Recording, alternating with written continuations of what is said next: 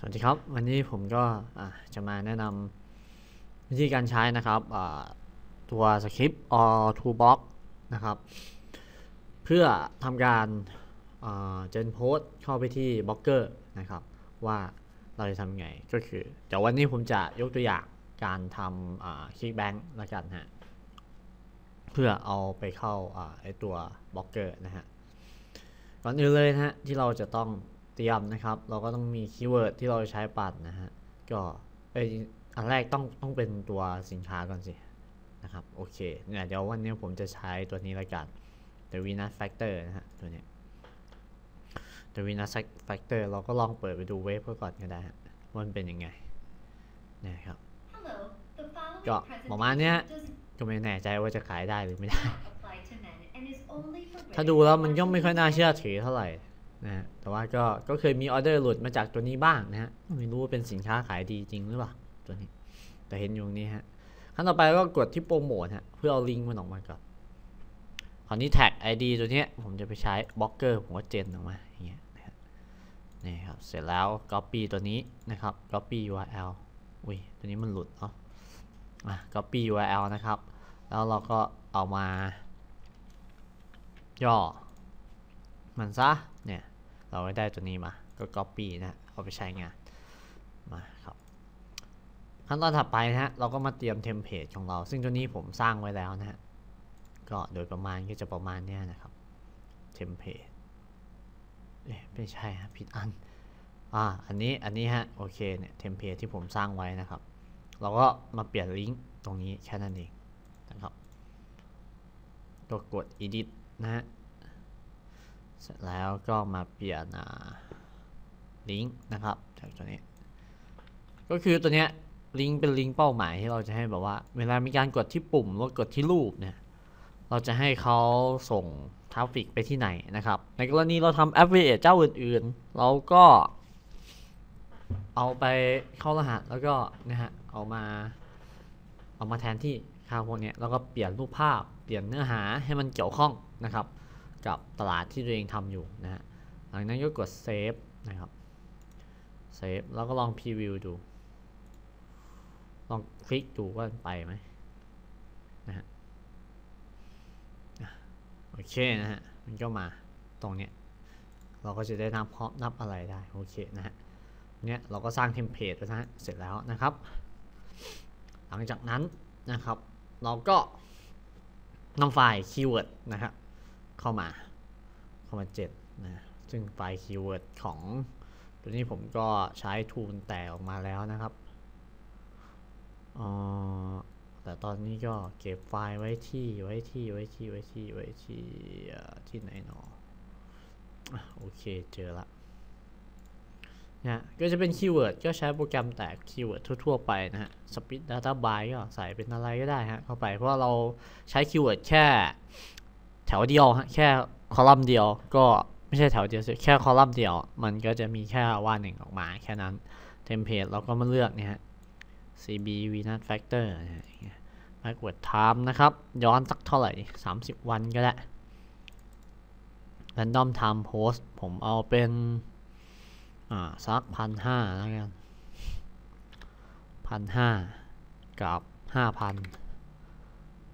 ต่อโพสผมก็เอาแค่ร้อยนะฮะไม่เกินร้อย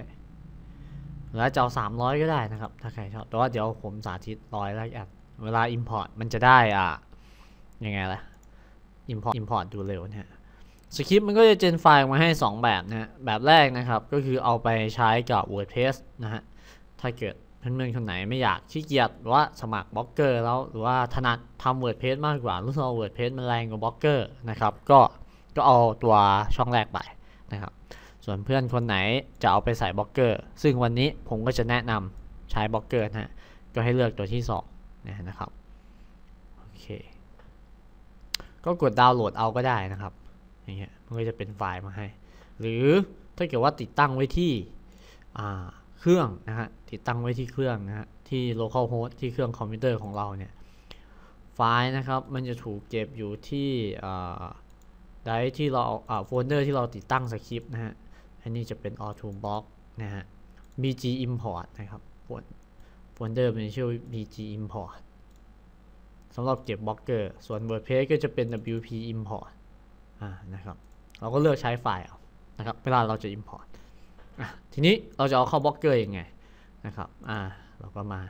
สร้างบล็อกนะฮะ create บล็อกเกี่ยว Venus Factor ผมก็ อ่าลองดูว่าไม่รู้จะโดนบล็อกอะไรหรือเปล่าอ่าไม่เอาบล็อกประมาณนี้ก็ได้ประมาณเนี้ยให้มีคีย์เวิร์ดนิดนึง ก็เลือกเทมเพลตเทมเพลตเอาอะไรก็ได้ฮะ แล้วเดี๋ยวค่อยไปหาโหลดของของของที่เขาทำแจกไว้ที่อยู่ในอินเทอร์เน็ตนะฮะ เดี๋ยวเราไปหาใน Google มาลองใช้ดูโอ้มันไม่ให้ใช้ชื่อนี้ มันอาจจะดีเทคชื่อนี้ไว้แล้วก็อาจจะเป็นอย่างอื่นก็ได้ GG ก็ได้ ผมตั้งชื่อมั่วๆไปก่อนแล้วกันนะ เดี๋ยวเวลาเราไปทำงานจริงก็ อาจจะตั้งชื่อที่มันดีกว่านี้ EA นะ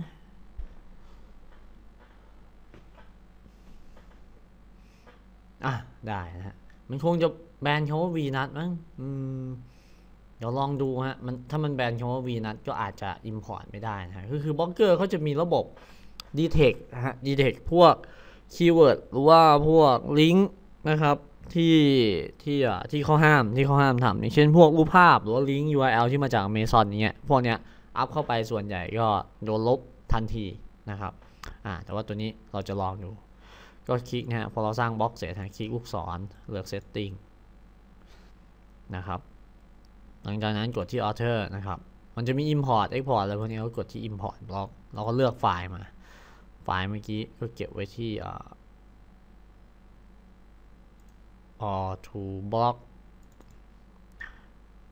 bg import อะเลือกไฟล์มาดูกรอกแคปชั่นนะครับกรอกก็กรอกให้ถูกต้องฮะถ้ากรอกไม่ถูกต้องก็ น่าจะรู้อยู่ กด import นะฮะ รอสักครู่ ถ้ามัน import ได้ก็ไม่นานเท่าไหร่ฮะเนี่ยดึงดึงดึงดึงดึงดึงดึงดึงดึงดึงดึงปกติร้อยโพสก็ไม่นานเท่าไหร่อะประมาณไม่ถึงนาทีหรอกครับ ก็เสร็จแล้ว แต่นี้มันค้างอยู่อันแรกอันเดียว มันอาจจะดีเทคไปแล้วดีเทคคำว่า v n u t factor อ่าถ้ามันดีเทคคำนี้ก็แปลว่า ตลาดเนี้ยไอไอตัวเนี้ยเราต้องหาคีย์เวิร์ดตัวอื่นมาเล่นนะฮะ ก็คือเราเล่น trademark ของมันไม่ได้ trade เล่นคำว่า v n u t factor นี่ไม่ได้ เราต้องเอาคำอื่นเป็นพวก fat loss อะไรพวกเนี้ยมาใช้นะครับนี่ยนานขนาดเนี้ย ไม่น่ารอดแล้วมั้ง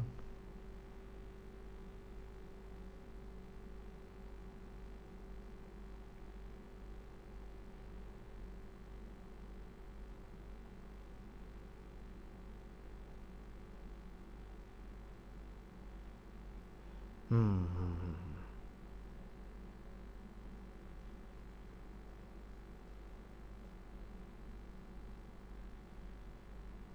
อะได้ฮะ มัน import ช้ากว่าปกติ import ช้ากว่าเดิมนี่เฉยฮะแม่ผมตกใจลุ้นเหมือนกันนะเนี่ย ผ่านไม่ผ่าน โอเคฮะ ผ่านเนี่ยฮะ เราก็จะได้เนี่ยบล็อกหน้าตาประมาณนี้ออกมานะครับกดเข้าไปทำไมถึงใช้บล็อกเกอร์ เลือกใช้บล็อกเกอร์ก็มัน index ง่ายฮะ ถ้าเกิดว่าเราทำอ่า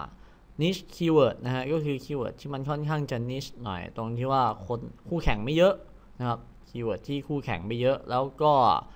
article นะฮะบทความเราได้มาค่อนข้างที่จะดีนะครับทำเราทำคอนเทนต์ดีไว้กันเถอะเราทำ on-page ดี มันก็ index แล้วก็รอไม่นานก็มีอันดับนะครับ แล้วก็ถ้าถ้าบล็อกเกอร์นะฮะมันมันได้ index ไปแล้ว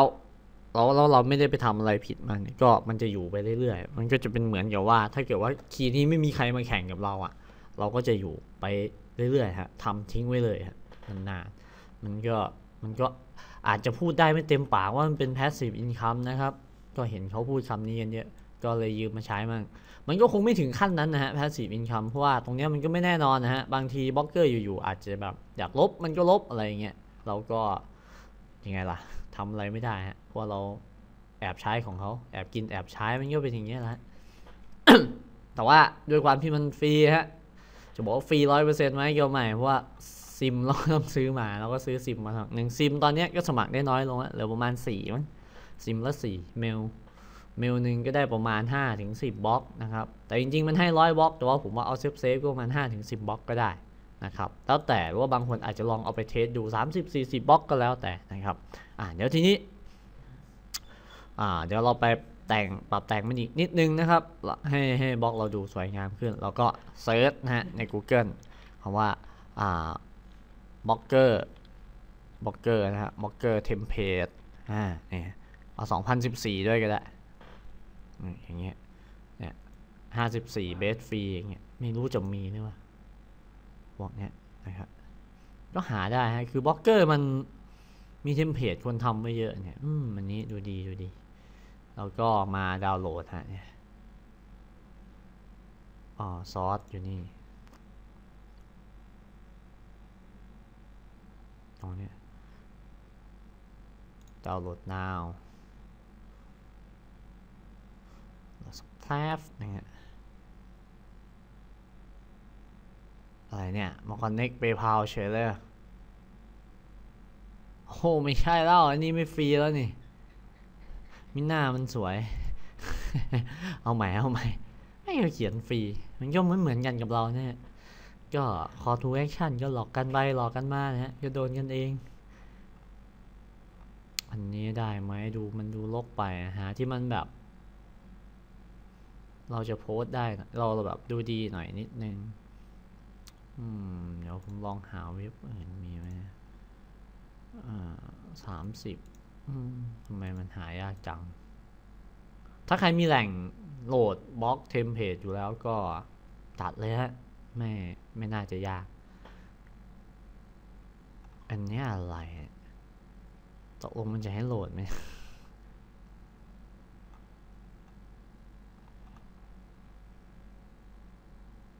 Blogger templateดาวน์โหลด อีกละที่เดิมอีกละ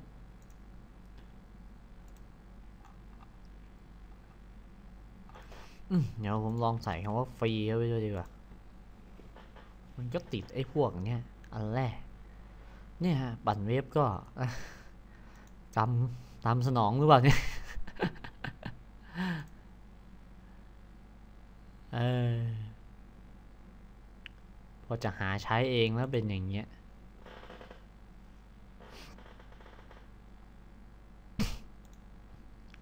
อ่าในที่สุดเราก็เจอ เว็บนี้มันชื่อว่าเว็บอะไรอะจำไม่ได้เหมือนกัน อาไม่เป็นไรฮะเดี๋ยวผมดาวน์โหลดมาก่อนชึบโชว์โฟลเดอร์นะครับแล้วก็ extract ออกมานะครับ extract to อะไรล่ะเมื่อกี้ ลืมดูชื่อมันอีกโอ้อ๋อนี่ไง info box เนี่ยเราก็จะได้พวกนี้มา how to install มันต้องเข้าไปแก้ C ไอแก้พวก JS อะไรพวกนี้ด้วย ลองดูมันจะมีบอกอยู่ว่า อืม เดี๋ยวเราลองใช้ไฟล์มันเลยแล้วกันนะฮะ ไฟล์ ML ลองเปลี่ยนดูชืบชืบมานี่นะฮะ เสร็จแล้วเราก็มาที่ template cost cost อ๋อ edit html นะครับ ผมจำได้ว่ามีให้อัปโหลดอยู่นี่นะ เดี๋ยวเดี๋ยวเดี๋ยวอ๋อ นี่ไง backup and restore ฮะแล้วเสร็จแล้วเราก็ไปที่เราดาวน์โหลดมาเมื่อกี้นะครับ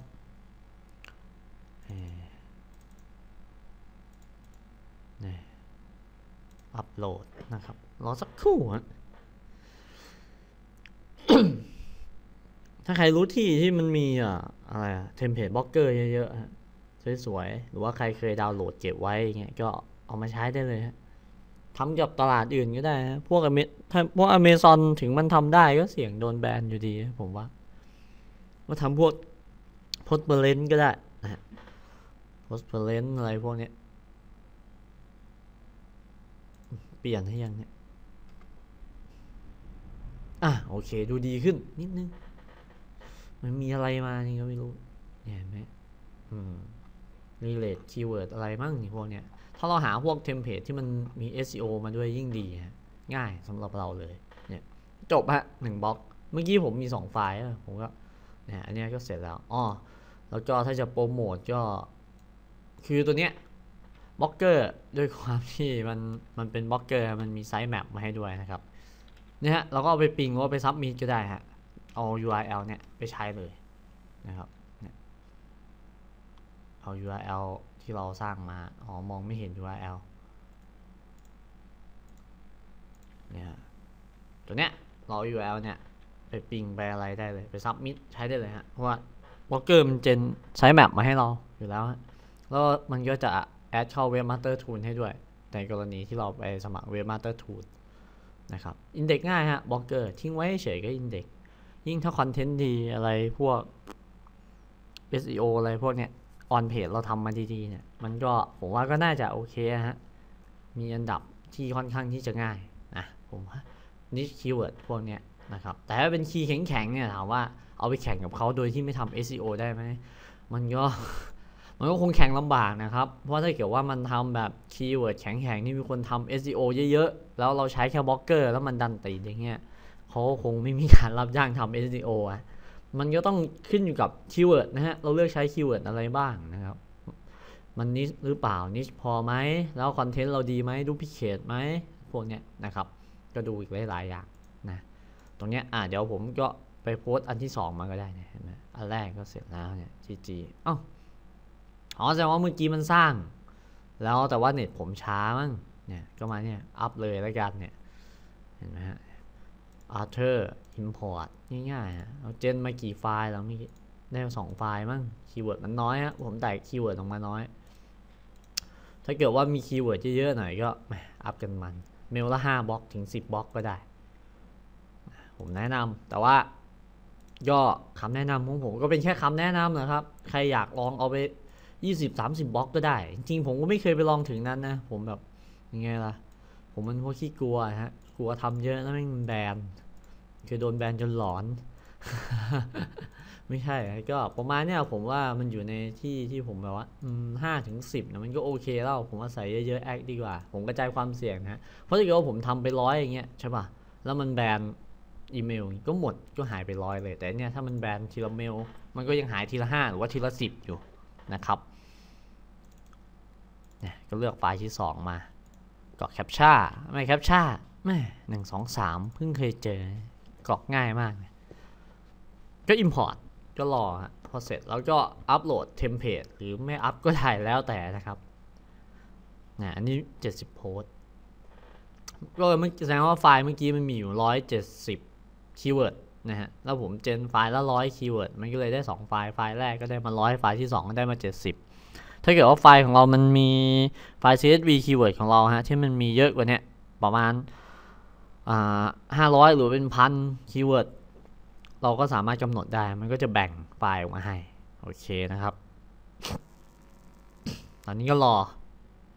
รอมันอัพเน็ตมันค่อนข้างจะอืดนะฮะ ผมก็ไม่แน่ใจเหมือนกันว่าเน็ตเป็นไรตอนเนี้ยเจ็ดสิบปกติก็ไม่น่านานนะ แต่ก็เร็วกว่าโพสต์มือแล้วกันนะโพสต์มือร้อยโพสต์หรือว่า run iMacros เงี้ย run iMacros ทีละโพสต์ก็แหม นานเหมือนกัน อะเจ็ดสิบโพสนะเสร็จแล้วฮะโอเคเนี่ยเนี่ยอันเนี้ยเห็นไหมมันจะได้ template ที่ไม่ค่อยสวยมา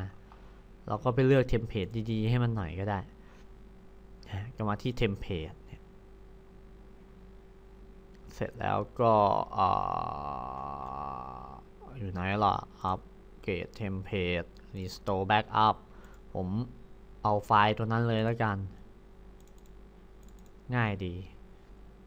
เนี่ยฮะอัปโหลดแป๊บเดียวบล็อกเราก็สวยละพอ Blogger template ผมว่าก็น่าจะมีแจกเยอะอยู่ก็ลองลองหาดูฮะใน Google น่าจะมีคนใจดีเขาทำแจกไว้ หรืออาจจะลองไปหาหรือไม่ก็จ้างพวก Fiverr อาจจะได้อยู่มั่งผมไม่แน่ใจนะผมไม่เคยจ้างพวกนั้นสักที ปกติก็หาเอาใน Google เนี่ยฮะ search ดู นี่ขนาดอัพแค่ template ยังช้าเลย เน็ตผมเนี่ยขั้นตอนการอัพโหลดเนี่ยความเร็วก็ขึ้นอยู่กับความเร็วของอินเทอร์เน็ตที่ใช้นะครับ ถ้าเกิดว่าเราใช้เน็ตอ่าอะไรล่ะอินเทอร์เน็ตเมื่อก่อนฮะ dial up อย่างเงี้ยมันก็อาจจะช้านิดนึงเนี่ยโอ้เขาก็จะแบ่งมาให้สวยงามนะหน้าแรกก็ดูดีฮะดีกว่าทำเองเยอะเลยเห็นไหม อะโอเคฮะก็ถ้าใครสนใจสคริปต์ตัวนี้นะฮะหรือว่าอยากได้ก็ลองติดต่อมาที่ Facebook ของผมดูแล้วกันนะครับผมสำหรับคลิปนี้ก็ขอจบแต่เพียงเท่านี้ครับ ขอบคุณครับ